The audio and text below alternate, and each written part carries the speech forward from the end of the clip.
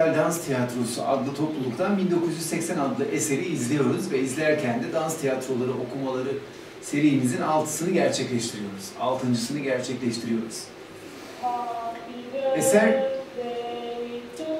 ilginç bir eser. Sahne üzerinde Pina'nın alıştığımız tasarımlarından biriyle karşı karşıyayız yine. Sahne üzerinde Çin bir halı var. Bize dış mekan duygusunu yaratmak için tasarlanmış Çin görüntüsü. Bütün eser bu e, görüntünün üzerinde, bu tasarımın üzerinde gerçekleşiyor. Şimdi ilk sahneyle bize bir yine e, yavru ağzı pembe elbise giymiş bir dansçı bize sahneyi açtı ve Happy Birthday to me dedi. Genelde biz Happy Birthday to you deriz değil mi?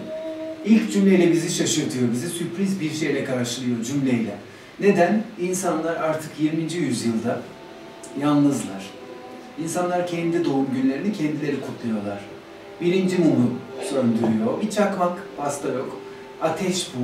Muma e, öykünüyor olabilir. Acıya öykünüyor olabilir. Biliyorsunuz ki kiliselerdeki mum teknolojiyle birlikte bize çakmak halinde geri döndü.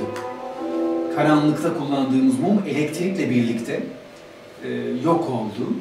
E, mum belki e, bu eser için önemli.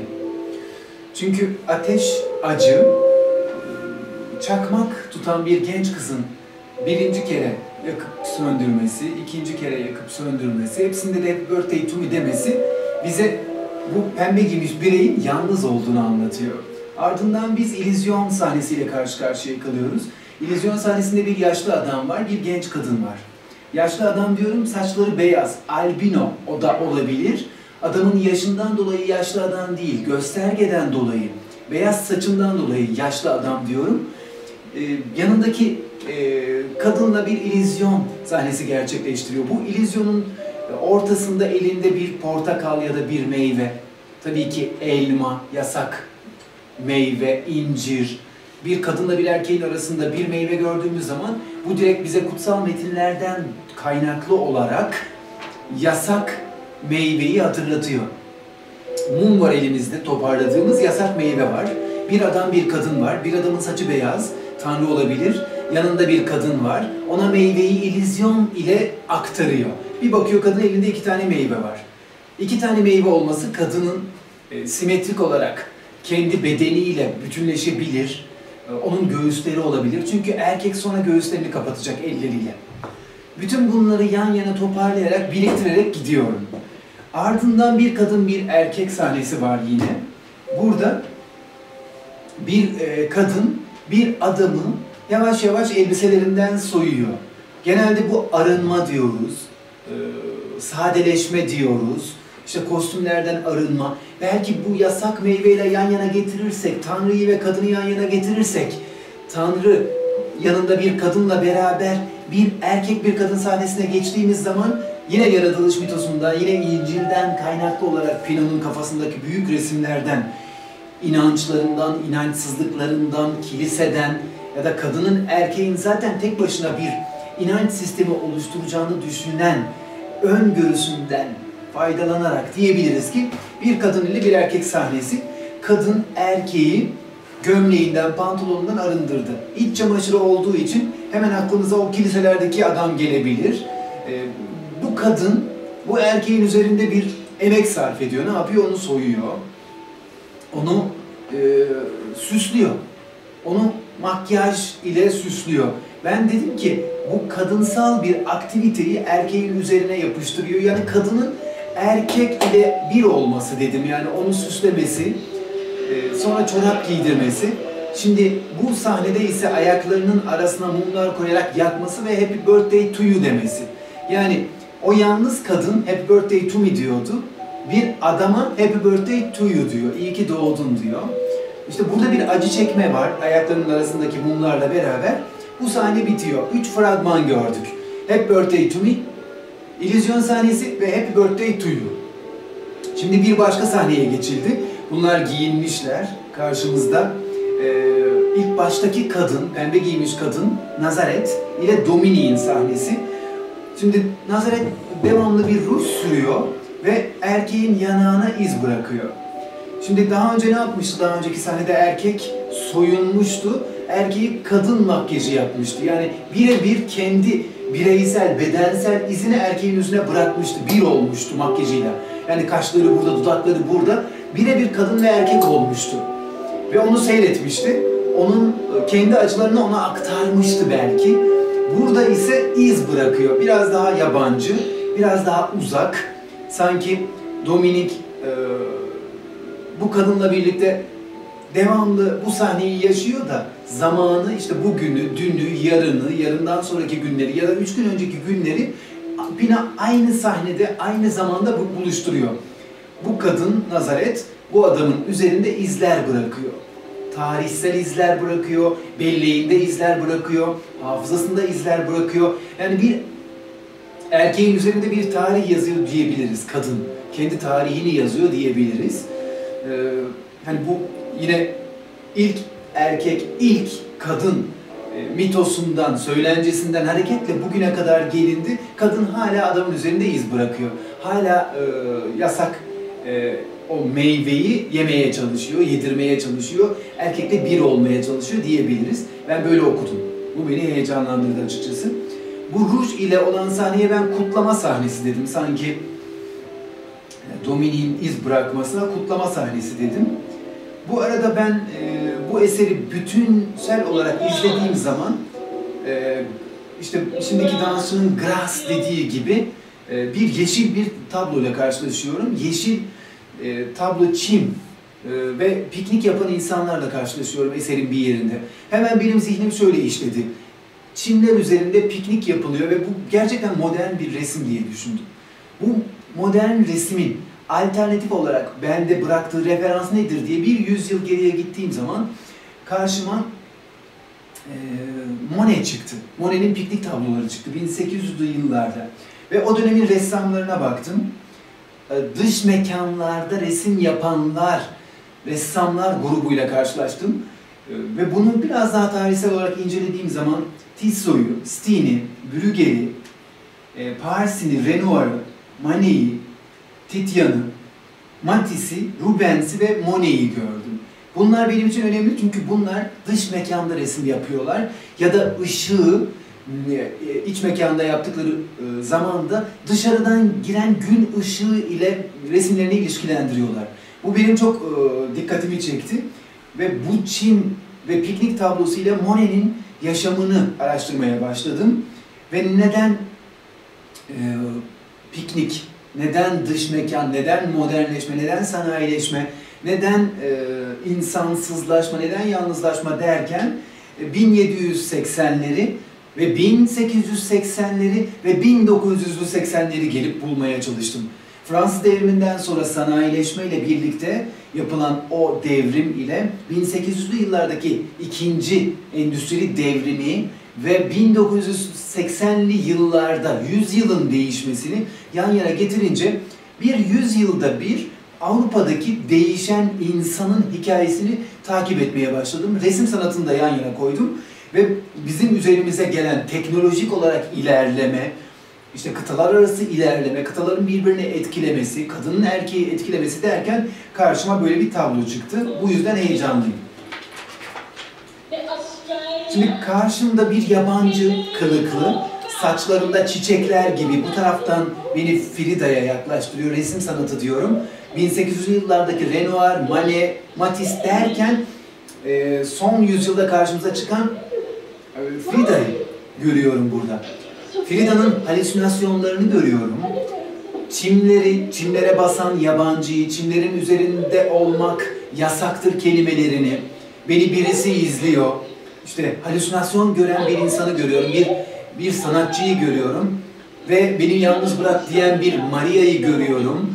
Ee, Maria'yı bir taraftan erkek sahnesindeki İsa ile yan yana getiriyorum yine. Çünkü Avrupa kültürü için, Hristiyan kültürü için Maria özellikle başat bir figür, kült bir figür.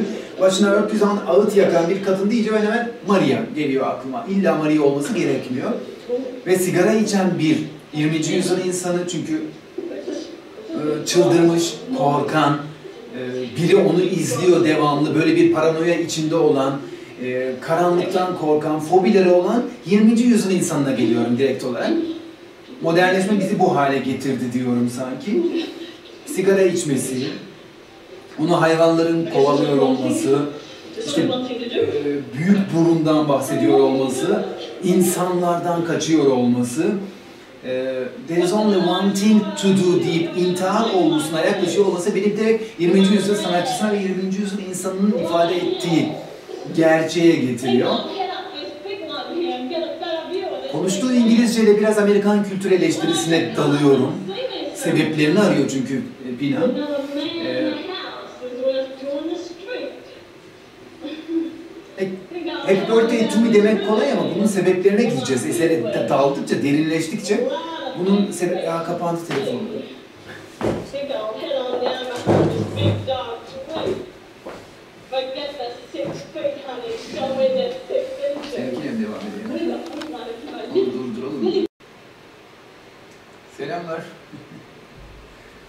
Selamlar. Ee, selamlar herkese. Eseri yeniden başlatıyorum arkadaşlar. 1980 adlı eserle bugün karşınızdayız. Ayın 17'si Kasım 2020. Biraz evvel telefonum kapandığı için tekrar size yayına başlıyorum. İlk sahnede Happy Birthday to me diyen pembe giymiş masum bir genç kız çimler üzerinde oturuyor. Elinde bir çakmak var. Mum yok. Teknolojik olarak bir eleştiri. Ardından bir illüzyon sahnesine geçiyoruz. İllüzyon sahnesinde bir adam bir kadın var. Adam biraz daha yaşlı bir görüntüye sahip. Kadın biraz daha genç. Adam illüzyon yaparak ellerine kadının iki tane meyve veriyor. Bunlar turuncu, portakala benzediği için ben hemen yasak meyve diyorum. Ardından bir kadın bir erkek sahnesi var. Bu sahnede kadın erkeğin üstündekileri çıkarıp bütünüyle kendine ait bütün ögeleri, makyaj ögesi, süslenme ögesi erkeğin üzerine yapıştırıyor. Yani erkeğin kaşlarını, yanaklarını, dudaklarını ve çorabını e, gördüğümüz zaman bu kadının erkek üzerinde bütünleşmesini özetleyebiliriz diye düşünüyorum.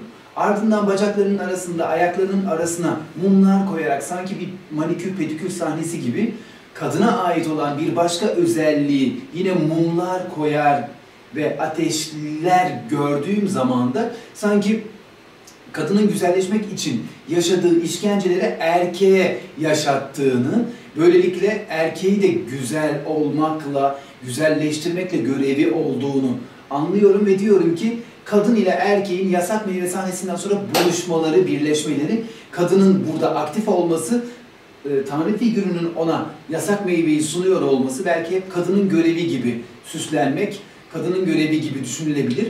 Ya da bu genç adam neden adam ki? Neden illüzyonu yapan, meyveleri veren beyaz saçlı adam neden bir kadın değil sorgusu da olabilir.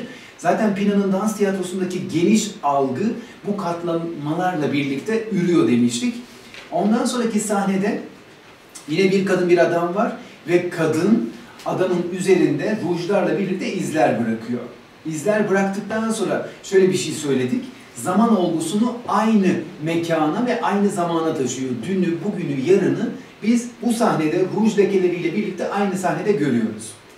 Ardından gelen sahnede hemen sanki e, söylemem gereken şunlar var. 1980 deyince ben hemen bir yüzyıl geriye gidiyorum. Doğum gününden bahsettiğimiz için. Ondan önce bir yüzyıl daha geriye gidiyorum. Hemen 1780'ler Fransız devrimi. İnsanların e, ve kıtaların yaşadığı endüstri devrimini, sanayileşmeyi. Ardından bir yüzyıl geri geliyorum 1800'lü yıllara. Resimde, sanattaki gelişmeler, ikinci devrim, ikinci e, endüstri devrimi ile değişen insanı görüyorum.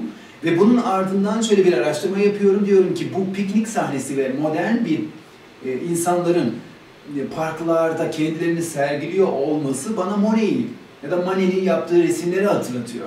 Ve diyorum ki ne farkı vardı? İlk defa dışarıya çıkıyordu.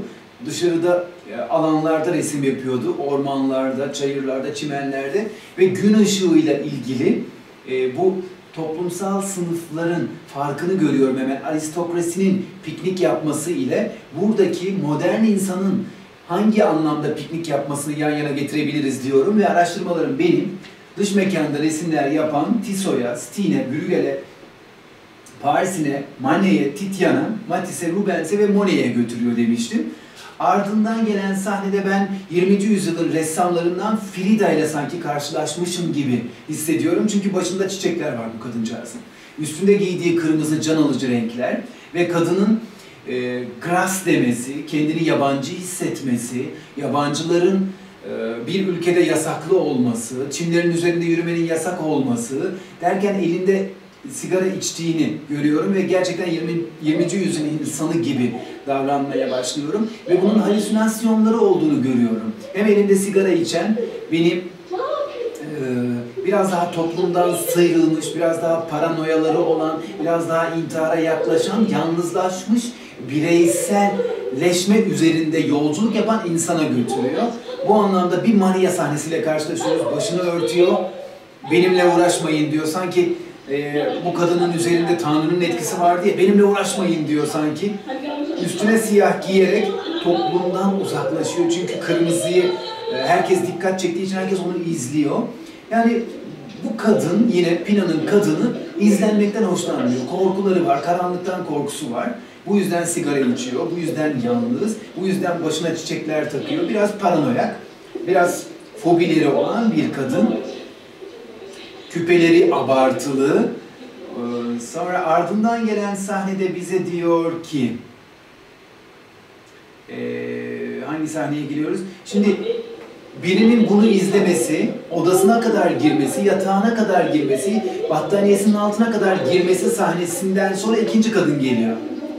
Biraz daha sıradan, normal görüntülü, normal giyinmiş bir insan, sıradan bir insan, birisinin beni izlediğini düşünüyorum. Odamda beni izliyorlar. Bundan çok korkuyorum diyor ama ters biçimde söylüyor. Sanki bundan biraz daha uzaklaşmış. Paranoyak değil, gerçekten biraz uzak. Ee, biraz çekiniyor bunu söylerken. Ee, hep ona gül denilmiş, mutlu ol denilmiş. Ama yine birisi beni izliyor diyor. Gerçekten öyle. Birileri bizi izliyor. Ee, biz izleniyoruz devamlı. Eğitim bizi izliyor, toplum bizi izliyor. Bizi izliyorlar tabii ki. Bireyin bu konuda bir tepkisi var. İzliyorlar beni. Odama kadar girdiler diyor. Ee, işte bunu biraz daha teknolojiyle birlikte ele alırsak 1980'ler teknolojinin doruk yaptığı yıllar e, işte kameraların üst derece bizi izlediği e, dönemler. Şimdi üçüncü kadınla karşılaşıyoruz. Bu kadın biraz daha güçlü, biraz daha erkeksi, biraz daha feminen. Bu kadın yine e, bir e, izlenmeden bahsediyor. Yine bir korkusu var ama biraz güçlü. Biraz teknik olarak konuşmaya başlıyor. İlk kadın biraz paranoyaktı, ikinci kadın biraz utangaçtı, üçüncü kadın güçlü ama beni izliyorlar diyor. Yani bununla başa çıkabilir. İşte bu yüzden mum taşıdığını söylüyor. Bu yüzden seyahat ettiği zaman elektrik kesilebilir. Sanki teknolojiden hem faydalanıyor ama hem de teknolojinin ona yapacağı tuzaklar karşısında hazır. Elinde mum var. Yani yolculuk yaparken mum taşıyorum diyor. Elimde çakmak var, mum var. Üç kadın var. Biri paranoyak, birisi e, daha utangaç, birisi daha güçlenmiş. Ve şimdi dördüncü kadın geliyor. Dördüncü erkek olacak. Erkek geliyor. Karanlıktan pek korkmayan bir erkekle karşılaşıyoruz. Ben diyor hiç karanlıktan korkmam diyor. Burada kadının ve erkeğin farkını görüyoruz. Çünkü erkeğe ne deniliyor? Sen karanlıktan korkma, korkma, karanlıkta bir şey yapmaz. Hani bize öğretiler var. Kadının tepkileri başka, bu yüzden varoluşu başka. Erkeğin tepkileri başka, bu yüzden varoluşu başka. Bu arada sahne bir karışıyor gibi oluyor ve bize beşinci olarak Guten Abend, Good evening diyen bir kadın. Şimdi karanlıktan bahsettik, ateşten bahsettik, çakmak, mumdan bahsettik ve giderek toplumun yapılarını inceledik. En son sahne sanatçılarına geldik. Bunlar hep karanlıktalar.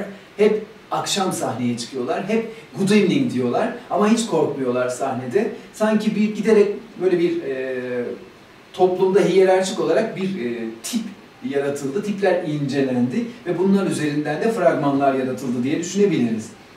İşte abartılı bir e, kostümü var, göğsünde çiçeği var. Konuşması da öyle. Guten Abend, good evening. Bunun korksa bile korktuğunu belli etmiyor. Çünkü yapay bir konuşma tarzı var. seyircilerin karşısında bir oyun, bir tiyatro, gerçekten uzak bir şeye düşüyoruz. Konuşmaları, good evening friends, yani gerçekten giderek uzaklaşıyoruz. İlk gerçek o zaman sanki o paranoyak şeklinde yaşayan kadın diyebiliriz. Ee, bundan sonraki sahne, e, şimdi Endicott ile Domini'yi görüyoruz. Guten Abend dedikten sonra, iyi akşamlar dedikten sonra biz sönen bir güneşten, yine Maria sahnesinden, yine e, bir kilise ezgisinden, bir kadının erkeğin e, sahnesinden bahsediyoruz. Yine bir kadın var, erkeği soyuyor bu kez. Sanki biraz daha baştan çıkarıcı bir soyma tarzı. Hem de seyirciye bakıyor soyarken. Çünkü epik tiyatroda ne oluyordu? Biz role, illüzyon açısından kapılmıyorduk. Seyircinin önünde oynuyorduk. Biz bunu yapıyoruz. Ben şimdi erkeği nasıl soyuyorum? Bakar mısınız? Nasıl kucağıma yatıyor? İşte yine burada ünlü Pieta sahnesi var. Kucağına yatacaktı ve ölecekti. Ama burada bu kadın ne Maria, bu adam da ne İsa. Bu adam ile bu kadının arasındaki biraz daha ilişki, kadın erkek ilişkisi. Ama sanki yüzyılın erkeği kadının kucağında bebek gibi yatıyor. Yani onun bezini değiştiriyor anne. Yani yüzyılın erkeğinin karşısındaki kadın anne rolünü üstlenmiş. Bu anlamda biraz erkek teslim olmuş, kadın birçok görevi üstlenmiş şekilde. Bu sahne biraz böyle kilise ezgisi gibi giderken devamında onu yalnız bırakacak Domini'yi.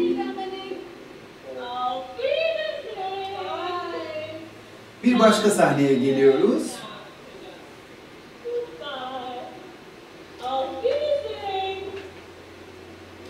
Affedersin, bay bay. Do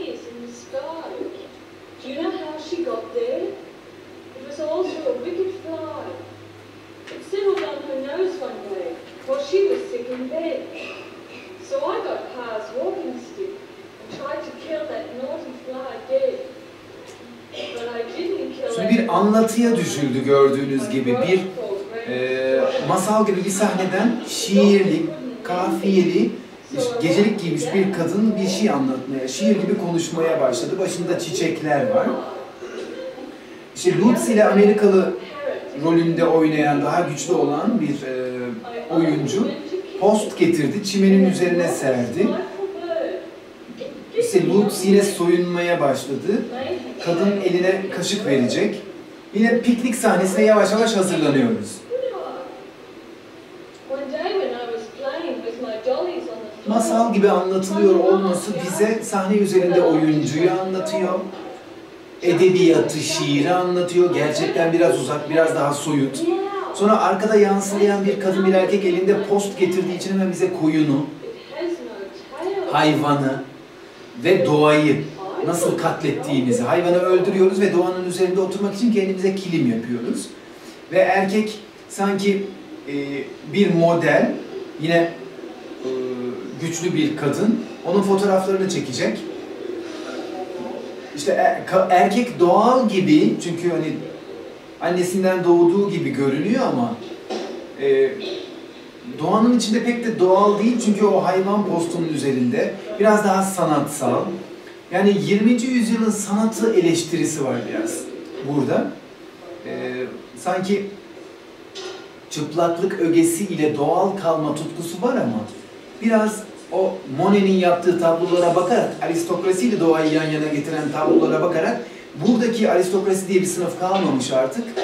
20. yüzyıl insanı tek başına yalnız yaşayan, biraz paranoyak, biraz fobik olan insan doğanın üzerinde anormal biçimde karşımıza çıkıyor.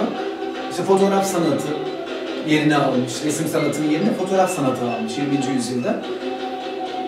Bu flamenko sahnesi yine bizim hani doğal, gelenekten gelen insanların yere vurarak dans ettiği bir e, tavır, taşta toprakta dans eden tavır sahne üzerinde tiyatroda masa gibi bir kuklayla canlandırılıyor. Bu anlamda da flamenkoda gelenek de kalmamış, kültür de kalmamış.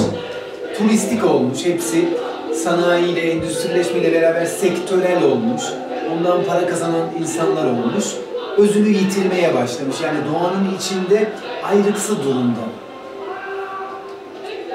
Bu arada şiddet, tepkiler şiddet ağırlıklı.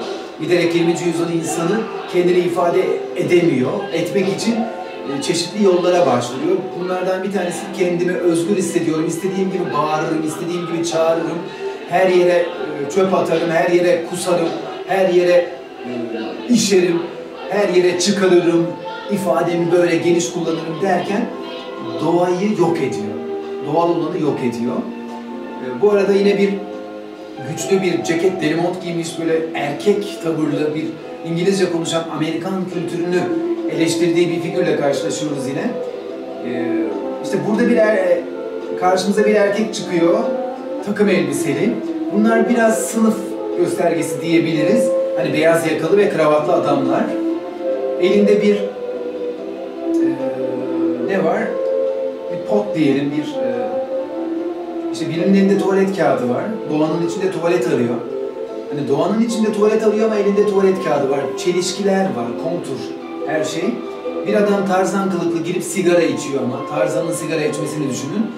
Adam ilkel ama aynı zamanda teknolojinin ve bize e, işte sanayi devrimini getirdiği işte tütün e, gibi işte onun satıldığı bir değer onu eline almış. Hani tarzan ama gelişmeye çalışıyor. Doğanın içinde kendini ifade etmeye çalışıyor. Her şeyin özü giderek bozuluyor. Bir adam elinde seramik bir kase var ama doğada yemek yiyor. Bu anlamda birçok gerçek yan yana. 20. yüzyıl karmaşık bir yüzyıl.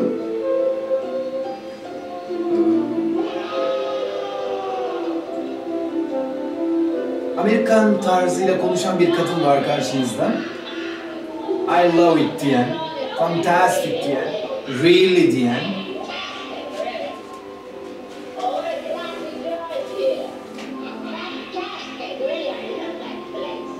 Burayı çok seviyorum.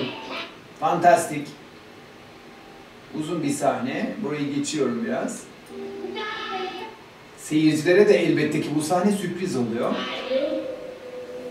Ne yapıyorsun diyor bu elindeki kaseyle sandalyede oturup. Onunla dalga geçiyor. Bu arada karakterler yaratmaya çalışıyor tiplerden. Karakterlere geçiş. Yavaş yavaş.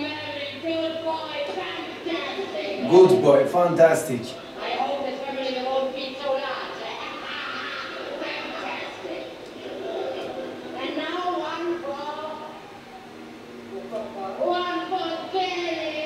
One for papa, one for mama, one for daddy derken annenin çocuğa yemek yedirme oyunu. Bunu daha önce de görmüştük.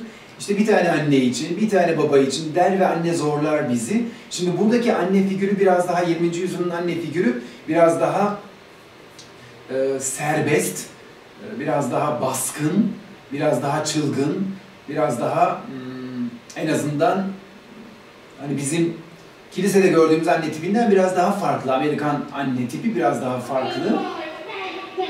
Ona e, dayak atıyor, onu döverek eğitiyor. Fantastik diyor bir taraftan da.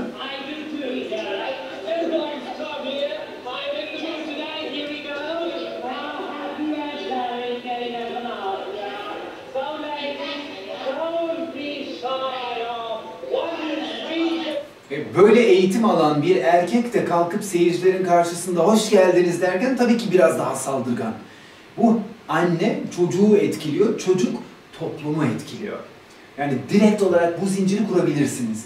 İşte seyircilere utanmayın, yüksek sesle konuşuyor, saldırıyor bir taraftan. Bu fantastik çocuk büyüyerek fantastik bir e, toplumda birey oluyor. Sahne sanatçısı olarak da saldırgan bir sanatçı oluyor. Kendine çok güvenen.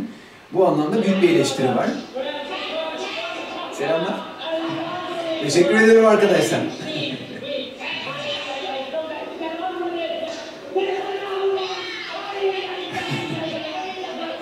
Teşekkür ediyorum.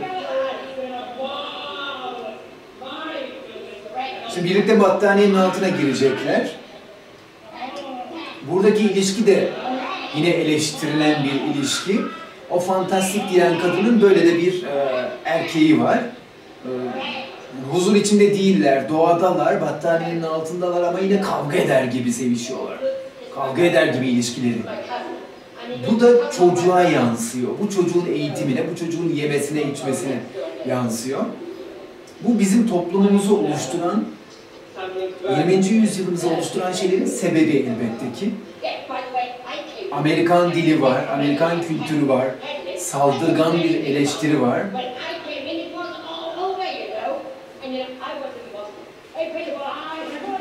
I was in Boston, ben Boston'daydım. Bir Amerikan türü hikayeler var. İnsanların birbirini etkilemesi, ben Amerika'dayım. Esprisi var, Amerika büyük ülke. Her şeyi e, etkiliyor, öncü belli konularda. Bu da tabii ki Avrupa'nın bozulmasına sebep oluyor yani Pina için. Avrupa'yı mahveden kültürlerden biri de elbette ki Amerikan kültürü. Çocuk eğitimine bile e, sebep oluyor. Çocuğun aklı karışıyor anne baba çünkü devamlı ona saldırgan biçimde şöyle yapmalısın, bunu yapmalısın diyor. Bir özgürlük öğretisi gibi görünüyor ama çocuğun kafası elbette ki karışıyor. Ardındanki sahneye geçebiliriz.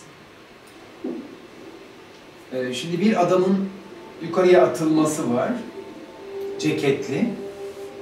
Sonra ceketi çıkaracaklar. Ceket ile birlikte kadını yelleyecekler. Sanki baştan çıkarma, kışkırtma bir flamenkodan bahsetmiştik. Ceketle beraber kadını yellemek demek hani kadını boğa gibi konumlandırmak ve elde ceketi hani erkek ögesi, kırmızı boğayı baştan çıkaran bir öge var ya erkeğin ögesi. Onunla baştan çıkarmaya çalışma var. Bu arada müzik çok güzel, cello sanat. Adagio. Burada baştan çıkarma sahnesi diyorum. Kucaktan kucağa kadını atacaklar. Yere düşmeden kucaktan kucağa yere bırakacaklar sonra elbiseli içinde.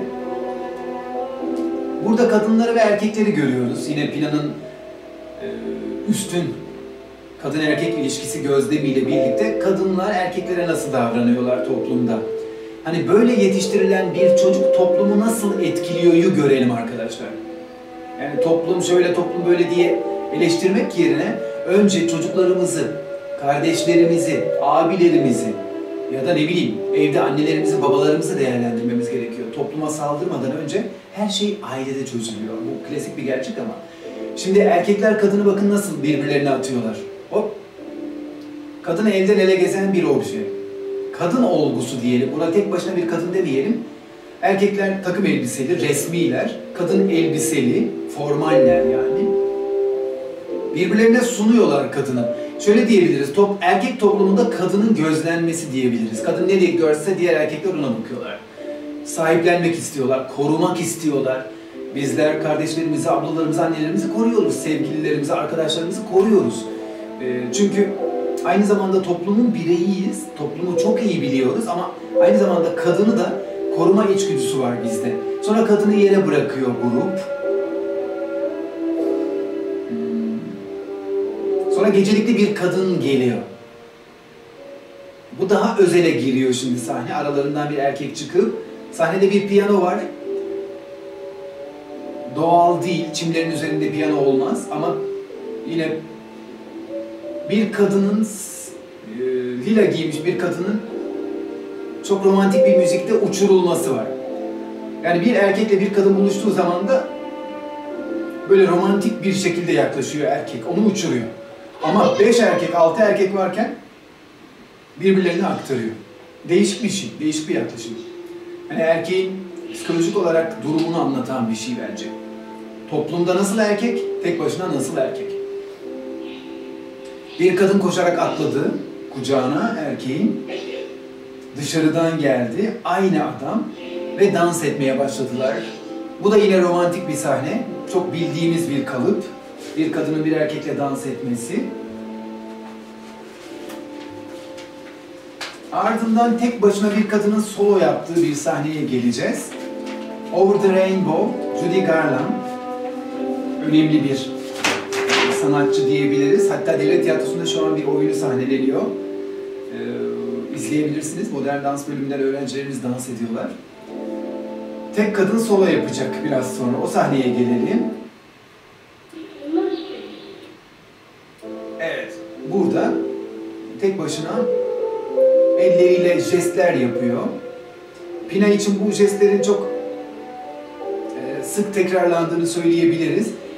E, elinin üzerinden, kolundan çizgiler, omzundan çizgiler tarif etti. Sanki toz siler gibi, saçını döker gibi, eliniz, eline krem sürer gibi. Sonra Lutz geliyor yine sahneye, yatak yapacak. Burada çok büyük bir e, sahneye geçiyoruz şimdi. E, 20. yüzyıl insanının piknik yaparken o diğer 1800'lü yıllardaki aristokrat aristokrat e, gruba nazaran modern insanın eleştirisini yapacak Pina. Modern insanın bakıyoruz ki teşhirci bir e, tarafı var. Bütün bedenini göstermek istiyor, soyunmak istiyor. Özellikle hmm, rahatsız eden tarafı bu eserin ama büyük bir eleştiri var tabii ki. Ya insan o kadar yalnız ki, e, battaniyelerin altında o kadar mutsuz ki. Şimdi kendini göstermek isteyecek, çok yalnız çünkü. E, kadın da kendini gösterecek, erkek de kendini gösterecek. Bu sahne inanılmaz güzel bir sahne. Sahneye bir geyik geldi, bir ceylan geldi bu arada. Kadınlar, erkekler popolarını gösteriyorlar. Kendilerini gösteriyorlar. Judy Garland söylüyor. Over the Rainbow. Gökkuşağının üzerinde. Sahnede bir piyano var. İşte buraya yine tekrar ediyorum. Modern insanın teşhirci yanı. O kadar yalnız ki bu entelektüel bir adam, gözlüklü, aynı zamanda sahnenin tasarımcısı. Çantası var. Bu tarz bir adam da var. Bu da teşhirci. Bu da kendini gösteriyor. İşte Arap bir kadın gelecek birazdan. Dudaklarına krem süren biri gelecek. Sanki kültür olarak deniz kenarıymış gibi. Gazete okuyan bir adam, toplumun entel tarafı, okuyan tarafı. Kırmızılı kadın, toplumda biraz daha teşhirci, yana ağır basan, özgüveni yüksek taraf diyebiliriz. Burada pozlar, komik haller, soyunmalar, teşhir, çıplaklık, Doğa ve geyik var yan yana ama bir taraftan da piyano var. Grotesk bir Monet tablosu diyorum ben buraya. Çünkü şemsiyeler, afişte de kullandığımız yeşil, çim, piyano, romantik, giysiler, modern, davranışlar, modern 20. yüzyıl insanı burada büyük bir eleştiri gizli arkadaşlar. Bir saçmalık bu anlamda gerçek, ve ardından çay sahnesine geçeceğiz. Bu sahne çok uzun olduğu için hızlı geçiyorum. Zevkle izleyin, çok güzel. Ardından çay sahnesine geçiyoruz.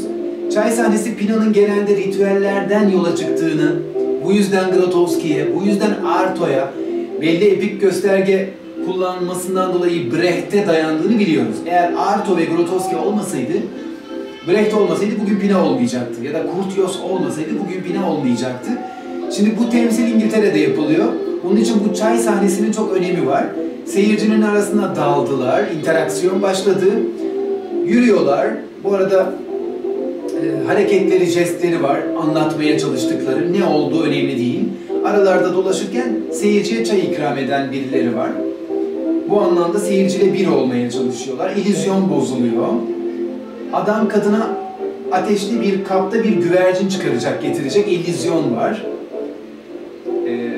tek sıra gidiyorlar. Bunu birçok eserde görebiliriz. Tek sıra giden insanlar. Bunu genelde ilkel topluluklarda görüyoruz. Koreografik olarak çok sade bir düzen. Tek sıra, işte yine karanlık, melankolik bir müzik ve cello gelecek bundan sonra. Biraz oraya gidelim. Burada illüzyon sahnesinde şimdi kuş geldi. Beyaz kuş, güvercin. Hani önce bir yasak meyve çıkmıştı kadının elinde, şimdi kuş. Hani uçabiliriz, barış olabilir, özgürlük olabilir değil mi? Sanki bu anlamda artırabiliriz. Tek sıraya girip yine dönecekler. Burada sahneye geldiler. Hepsi tek sıradalar. Karanlık, melankolik dedik buraya. Burada bütün dansçıları görüyoruz arkadaşlar tek başlarına. Bir adam sırayla gelecek, bunları ürkütecek, kadınlar ses çıkaracaklar. Ve ardından güzellik yarışması başlayacak. Güzellik yarışmalarının eleştirisi başlayacak. Biliyorsunuz güzellik yarışmaları denince Amerika, İlk İngiltere'de başlıyor belli şeyler ama mesela e, valsler dediğimiz şey İngiltere'de başlıyor. İşte eğlenceyi satan sirkler. Güzellik yarışmalarının eleştirisi yine Amerika'dan geliyor. Amerika çünkü güzellik yarışmaları yapıyor. E, işte sponsora teşekkür eden insanlar, markalara, Marks Spencer gibi mesela, İngiliz markalarına eleştiriler var. Adam korkutuyor kadınları, bütün kadınlar, güzel kadınlar. Adam e, yaptığı bir şeyle onlara bir işkence yaşatıyor, bakarak. Üzerine su serpiyor belki onlara. Kadınlar korkuyorlar, ses çıkarıyorlar. Her birinin farklı ifadesi var. Sponsors. I like to thank to my Spencers, Marks and Spencers deyince güzellik yarışması olduğunu emin oluyoruz. Sponsoruna teşekkür ediyor. Marks and Spencers deyince de Marks and Spencer'a birebir kullanmıyor çünkü marka dava açabilir. Bu anlamda diyor ki Marks and Spencers diyor. Bu anlamda da bir sansür uyguluyorlar. İkinci gelecek olan adam e, kızların jumplarına bakacak. Ne kadar zıplayabildiklerine bakacak. Bu sahne yine dans ile ilgili bir sahne. Genelde dansçıların ne kadar sıçrayabildikleri çok önemli. Burada hemen dans sahnelerine gönderme var. Dansçı olmaya, zıplamaya. Güzellik yarışması ile dansı yan yana getiriyor. Ne kadar çok zıplarsan o kadar iyi balerinsindir anlamına gelir. Bu aşağıya aşağıya zıplıyor. Bu dört aldı. Hobilerinden bahsedecek çünkü güzellik yarışmasındayız aynı zamanda. My hobbies are cookies, kurabiyeler, Hebrew, Sanskrit,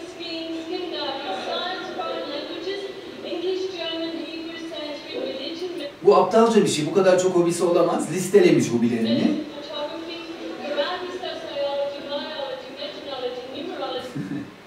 Şimdi üçüncü adam gelecek. Biraz bacak görelim diyecek. Bu da dansa gönderme. Biraz da günlük hayatta kadınların bacaklarının önde olması, erkeklerin kadınların bacaklarına bakıyor olması eleştirisi. Biraz bacak görelim dedi. Çünkü güzellik yarışmasındayız aynı zamanda kalıp hazır. Kadınlar öne gelecekler. E, centilmenler de gelsin diyor. Çünkü hep biz alışırız ki kadınların güzellik yarışmasına. Erkekler zorla araya girip biz daha güzeliz yapıyorlar burada. Karşılıklı her şey. Bacakları değiştirin diyor. Bu kez sol bacaklar. Arka arkaya sıralanacaklar. İşte birbirlerine vuracaklar. Yarışacaklar. Çünkü birinci olmak istiyorlar. Büyük bir şiddet var. Büyük bir gösteri var, büyük bir teşhir var. Güzellik yarışması ama dışarıdaki teşhir burada da devam ediyor, sahne üzerinde de. Yani sanatta da, güzellikte de teşhir var. 20. yüzyılın sanatı böyle. Bir anlamda. Büyük bir eleştiri yani. Çünkü eleştiri diyorum, çünkü epik tiyatro eleştirir. Gösterir ama eleştirir. Eğitir, öğretir. Sadece bir şeyi yaşamamıza sebep olmaz, düşündürür. Düşünürüz biz epik tiyatroyla.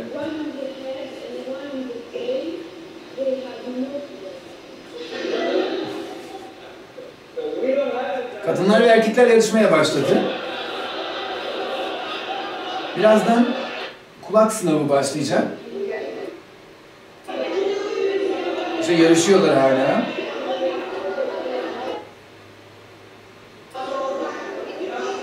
Mikrofon var. Burada mikrofon güzellik yarışmasında konuşan kişinin, en güzel olan kişinin, bir numara olacak olan kişinin, buna da hazırız. Aynı zamanda da tatmin ögesi. Yani kim orada konuşursa orada erk sahibi odur. En güzel odur. En güzel bacak onundur. En güzel sözler ona aittir. Bu anlamda mikrofon ile güzelliği yan yana getiriyor bakın. İkisi de aslında birbirini destekleyen ögeler bir taraftan da bizim eleştirdiğimiz ögeler. Güzellik nedir? Bacak değildir, hobiler değildir, zıplamalar değildir, ee, ne bileyim elbiseler değildir güzellik. Güzellik insanın kendisidir. Kendisi olabildiği zaman en güzeldir.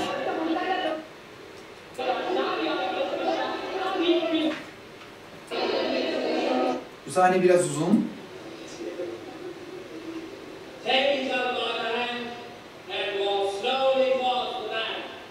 Şimdi bu kadar grup karmaşa olunca aralarında bir düzenleyici olması gerekiyor. Bir kural koyucu olması gerekiyor. Aralarından birisi sonunda dayanamadı ve kuralı koymaya başladı. Arkaya dönün, yavaşça yürüyün derken bir gruba arkanı dön ve yavaşça yürü demek, duvara kadar git demek. Sanki yine Almanya'daki Hitler'in eleştirisi var. Öldürülecek olan Yahudiler var. Güzellik yarışmasından nereye getirdi bakın Pina.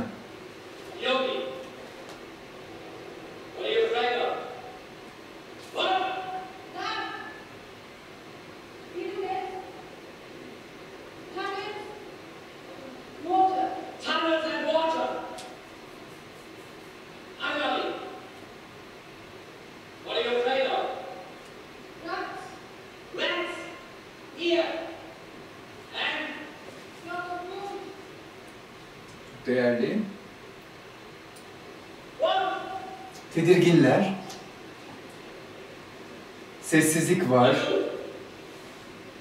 Tekerlemeler var. İsimlerini söylüyorlar gördüğünüz gibi. Yani bir veda sahnesi var, bir ölüm sahnesi var. Çünkü ses oldukça tehdit edici.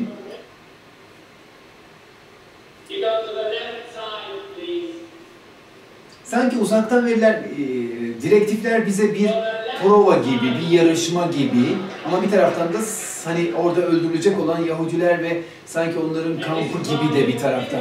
Yani aslında güzellik bizim için ölüm kampı diyebiliriz. Güzel olmak için çabalıyor ya insanlar. Sanki ölüm kampı gibi gerçekten. Şimdi işte insanlar kendilerine tanıtıcı üç kelime seçiyorlar. Yok spagetti, Roma, İtalya gibi.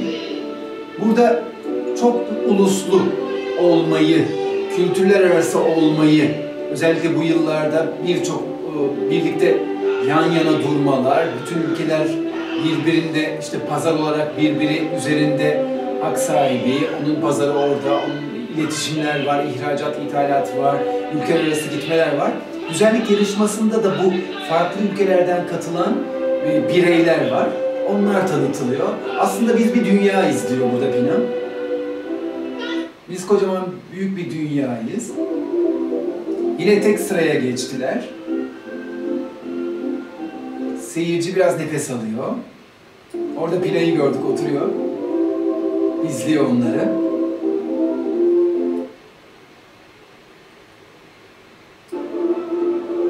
Burada bir sanki akrobat e, kullu beygir, sahne üzerindeki illüzyon yapan adam gitmiş de yerine bir akrobat gelmiş. Yani sahne sanatlarında bu eğlence tarzı da giderek iddialı hale geliyor. İnsanlar e, işte güvercin çıktı artık başka yapacak bir şey yok. Bu kez insanların kendi bedenleri üzerinde gösterdikleri hünerler başlıyor. Hani y- 20. yüzyılda daha çok bunlar öne çıkıyor. İnsan mükemmel bir beden kullanmaya başlıyor. Bir taraftan güzellik yarışmaları, bir taraftan da bedenin işlevsel hale gelmesi, daha çok şeyi yapabilmesi bahsedebiliriz. Ben bu adamın Tanrı'ya benzetiyorum hep. Böyle illüzyon, o beyaz saçlı adam sanki e, yaratıcılık devam ediyor gibi. Yani sahne üzerinde öyle bir yönelimim var, hissettiğim şeyler var. Bir kadın, bu sahne çok güzel. Ee, sanki çimden bahsettik ya, çimin sulanması gerekiyor. Teknoloji nasıl suluyor çimi? Yani hortumla değil tabii ki. Hani eskiden bahçelerde hortumla suluyorlardı ama 20. yüzyıl bunu bir kadın bir erkek ilişkisine çevirmiş. Kadın dans ediyor huzurla. Burada biraz tabii ki e, güç gücümüzü kullanmak zorundayız. Beyaz elbisesi var, sulanmaya hazır. Çimin üzerinde özgürce dans ediyor, güvercin gibi. E, onu da sulayan bir sistem var. Daha hızlı bir sistem suluyor. Bu kadar geniş doğayı, hani yağmur yetmiyor artık. E, sulamak için bir sistem kurmak gerekiyor. Bu da güzel bir eleştiri bence.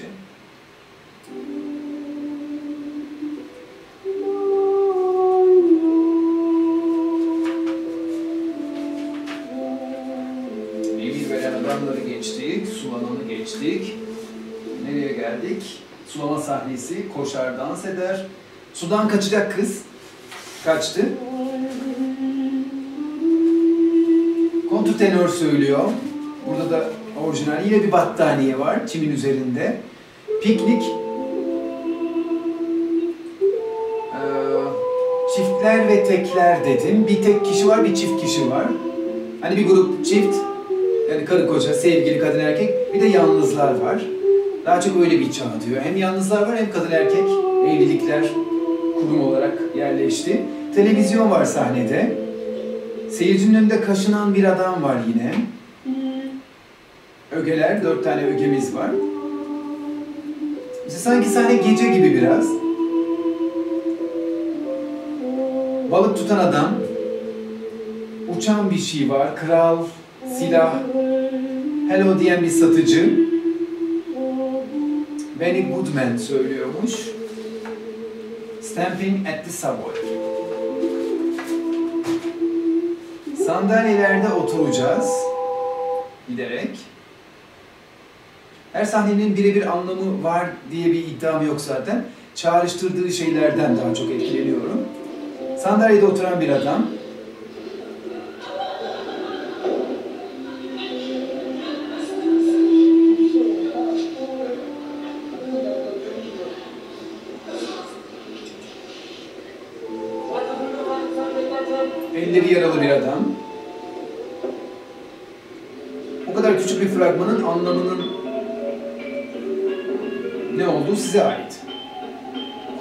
Uçan bir adam. Şarkı söyleyen bir kadın. Sanki gece hayatına döndü işler. Siyah giyen insanlar. Işıklar biraz sahneye indi gördüğünüz gibi.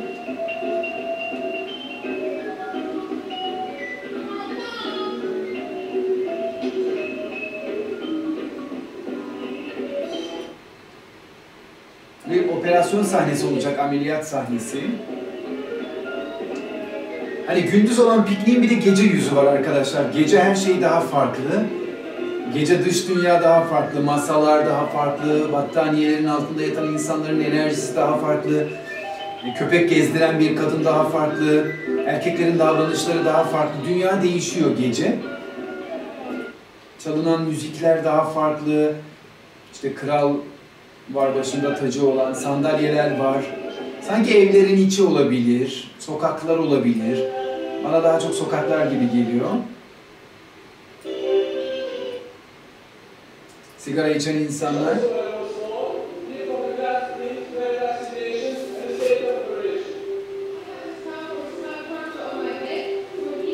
Şimdi burada ameliyatlar geçirmiş insanların söylediği sözleri duyuyoruz.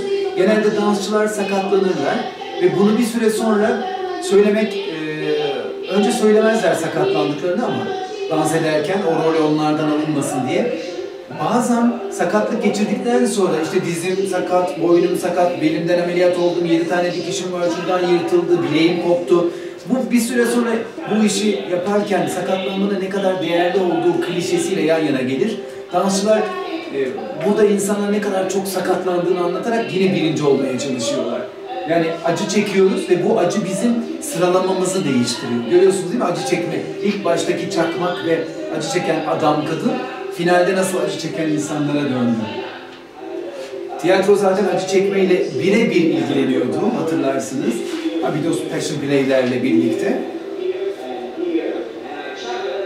İnsanlar acılarını anlatıyorlar ameliyat sahneleriyle.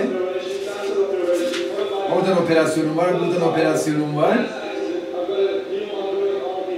İşte birazdan bugünün kraliçesi gelecek. İşte kim oldu şampiyon bakacağız. Tacını koydu. Tacını getirin. Belki birisi taç getirecek. Ya da taç yok eliyle yapıyor. Gösteriyor. Gösterge.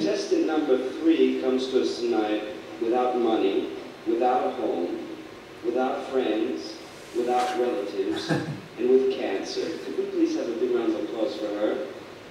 Yani üçüncüde işte hiçbir şeyi yok. Ama ameliyat çok olmuş, acı çok çekmiş, evi yok. O üçüncü diyor. Yani şimdi e, hobilerden falan geldik ya, sokağa gösterdi, acı çeken insanı, yok olan, parasız olan insanı gösterdi. Üçüncü en parasız. Çok büyük bir eleştiri. Onun da tacı böyle, tacı yok, eliyle yapıyor. Ödüller dağıtıldı, çiçekler alındı. Yerde yatan bir kadın var. Artık o ölmüş, onu muşambalıyorlar. Müzik başlıyor, My Hero diye. Foo Fighters, duyarlı bir müzik. Kadın solo yapacak, karanlık. Koro şarkıyı mırıldanacak, sandalyelere oturacaklar. Yine hareketli bir sahneye geçilecek buradan. Herkesi etkileyecek bu sahne. Koşmalar başlayacak.